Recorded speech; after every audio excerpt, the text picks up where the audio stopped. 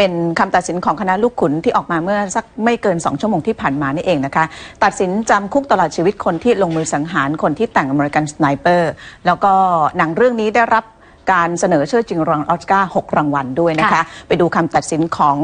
คณะลูกขุนที่เกิดขึ้นเมื่อสักครู่ที่ผ่านมานะคะ โดยโดยตัดสินให้จำคุกตลอดชีวิตนายเอ็ดดี้เรย์รูธนะคะ ซึ่งตกเป็นผู้ถูกกล่าวหาว่าฆ่า อดีตพลซุ่มยิงหน่วย Navy SEAL วัย 38 ปี และผู้ประพันธ์หนังสือขายดี American Sniper คริสไคล์นะคะ ซึ่งคริสไคล์นั้นพยายามจะช่วยรูธรับมือกับโรคเครียดหลังจากที่เขากลับจากสงคราม โดยคณะลูกขุนได้เริ่มการพิจารณาคดีเมื่อเวลาประมาณ 19นาฬิกา36 นาทีตามเวลาท้องถิ่น หรือประมาณ 7นาฬิกา6 36 นาทีตามเวลาประเทศไทย โดยการตัดสินดังกล่าวไม่มีใครโต้แย้งคำพิพากษาค่ะ อายการในคดีนี้เจนสเตรนบอกนะคะว่าการที่รูทฆ่าคริสคายไม่ใช่เพียงแค่เรื่องของการเสียสติอย่างที่ผู้ถูกกล่าวหาพยายามอ้าง แต่ว่าเป็นการฆ่าคนที่คิดไว้ล่วงหน้าอยู่แล้ว ขณะที่ทนายของรูทบอกนะคะว่าเขาฆ่าคน เพราะว่ารูทนั้นมีความเชื่อค่ะว่าเขากำลังถูกทำร้าย ซึ่งอาการดังกล่าวนั้นเกิดจากภาวะความเครียดหลังที่กลับจากสงครามค่ะ เหตุการณ์สังหารคริสไคล์เกิดขึ้นเมื่อวันที่ 2 กุมภาพันธ์ 2013 ค่ะโดยหลังก่อเหตุผู้ที่สังหารก็คือรูธได้ขับรถไปที่บ้านน้องสาวของเขา แล้วก็เล่าเรื่องที่เกิดขึ้นทั้งหมดให้เธอฟังก่อนจะหนีไป น้องสาวของเขานั้นโทรศัพท์แจ้งตำรวจ และรูธก็ถูกจับตัวใกล้กับบ้านของเขาในเมือง ในรัฐเท็กซัส ซึ่งห่างจากที่เกิดเหตุราว 110 กิโลเมตรค่ะ โดยทราวิสคอกซึ่งเป็นผู้อำนวยการองค์กรไม่แสวงหากำไร ได้ระบุนะคะว่ารุธนั้นป่วยเป็นโรคเครียดหลังจากเจอเหตุการณ์สะเทือนใจ ขณะที่ใครกำลังพยายามหาทางช่วยรักษาอาการที่เขาเป็นอยู่ ใครนั้นเขียนหนังสือเรื่อง American Sniper ซึ่งเกี่ยวกับจิตวิทยาของพลซุ่มยิง จากประสบการณ์ของเขาในสงครามอิรัก โดยหนังสือเล่มนี้ก็ประสบความสำเร็จ ติดดับหนังสือขายดีประจำปี 2012 แล้วก็เรื่องนี้ถูกนำมาสร้างเป็นหนังที่ปีนี้ได้รับการเสนอชื่อชิงรางวัลออสการ์ถึง 6 รางวัลด้วยกันค่ะ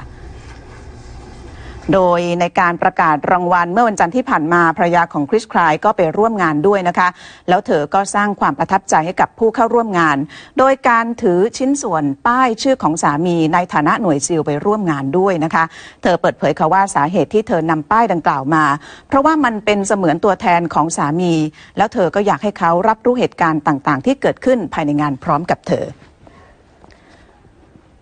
ดิฉันมีสัญลักษณ์ที่เรียกว่าด็อกแท็กมาให้ดูกันในวันนี้นะคะ เป็นสิ่งที่เมื่อสักครู่ภรรยาของคริสคลายได้นำไปในงานดังกล่าวด้วยนะคะ เป็นแท็กที่คนที่ไปในสงครามนะคะ ได้มีประจำตัวแล้วก็ติดกันไว้นะคะ อันนี้เป็นด็อกแท็กของทางองค์การสหประชาชาตินะคะ ซึ่งจะเป็นลักษณะที่ใหญ่กว่าทหารอเมริกัน สังเกตดูนะคะว่าจะสามารถหักเป็นสองท่อนได้ คนที่กลับมามีชีวิตนะคะ จะกลับมาใน สภาพสมบูรณ์ก็คือ dog tag อยู่ติดทั้งสองอัน แต่ว่าถ้าเกิดเสียชีวิต dog tag อันหนึ่งจะ ถูกส่งกลับบ้านก็คืออันข้างล่างนะคะ ส่วนข้างบนนั้นจะติดตัวของทหารที่เสียชีวิตไว้ โดยใน dog tag นี้ก็จะเป็นการระบุถึงข้อมูลต่างๆ ของทหารคนดังกล่าวนะคะไม่ว่าจะเป็นกรุ๊ปเลือด หรือว่าที่มาของประเทศที่ทหารสังกัดอยู่ค่ะ ก็จะช่วยเป็นประโยชน์กับผู้ที่จะเข้าไปช่วยเหลือ ถ้าเกิดทหารคนดังกล่าวตกอยู่ในภาวะอันตรายนะคะคริส ไคล์นั้นถือได้ค่ะว่าเป็นวีรบุรุษของคนอเมริกันในฐานะ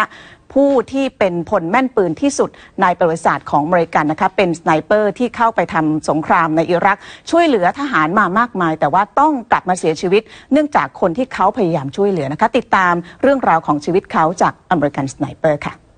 American Sniper เป็นภาพยนตร์ที่สร้างจากชีวิตจริงของคริสไคล์พลแม่นปืนของหน่วยรบพิเศษสหรัฐอเมริกา หรือหน่วยรบซีลที่ไปรบในประเทศอิรัก ซึ่งเขามีภรรยาและลูกสองคนรอคอยที่บ้านตลอดการรบ The Legend เป็นฉายาของเขาในหมู่เพื่อนทหารเพื่อสะดุดดีต่อความกล้าหาญและฝีมือความแม่นปืนของเขาที่เป็นระดับตำนาน คริสสังหารศัตรูได้มากที่สุดถึง 160 คน ซึ่งถูกบันทึกในประวัติศาสตร์ของทหารอเมริกัน และทำให้เพื่อนทหารของเขาหลายคนรอดชีวิต ขณะที่ฝั่งศัตรูเรียกเขาว่า The Devil คริสถูกตั้งค่าหัว 20,000 ดอลลาร์และเป็นคนที่ฝ่ายศัตรูต้องการกำจัด เพราะเป็นอุปสรรคสำคัญ ภารกิจหลักของคริสในการรบที่อิรักคือต้องปกป้องและรักษาชีวิตเพื่อนทหารของเขา ภาพยนตร์นี้ถูกดัดแปลงจากหนังสือที่ชื่อเดียวกันว่า American Sniper ซึ่งเล่าประสบการณ์ของคริสไคโอเอง คริสถูกส่งไปที่อิรักทั้งหมด 4 ครั้ง และปฏิบัติหน้าที่ท่ามกลางอันตราย และการสูญเสียเพื่อนรอบๆข้าง แต่ก็ไม่ถอดใจทำให้เขากลายเป็นที่รู้กันในหมู่ซีว่า เป็นสัญลักษณ์ของการไม่ทอดทิ้งผู้อื่น หลังจากที่คริสได้ปลดประจำการจากทหาร เขาก็ยังช่วยเหลือสังคม โดยการเป็นอาสาในโรงพยาบาล เพื่อช่วยเยียวยาจิตใจทหารผ่านศึก แต่สุดท้ายแล้วคริสไคลก็ต้องเสียชีวิตในปี 2013 เมื่อวันที่ 2 กุมภาพันธ์ จากการถูกยิงโดยทหารผ่านศึก ที่เขาเข้าไปช่วยเหลือ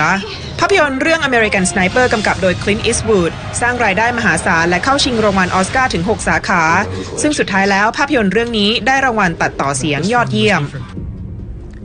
ก็เป็นเหตุการณ์จริงที่เกิดขึ้นไปกับการควบคู่ของการฉายภาพยนตร์ American Sniper นะคะ สงครามในรักนั้นเกิดขึ้นตั้งแต่ปี 2400 2546 ดำเนินมาจนถึงปี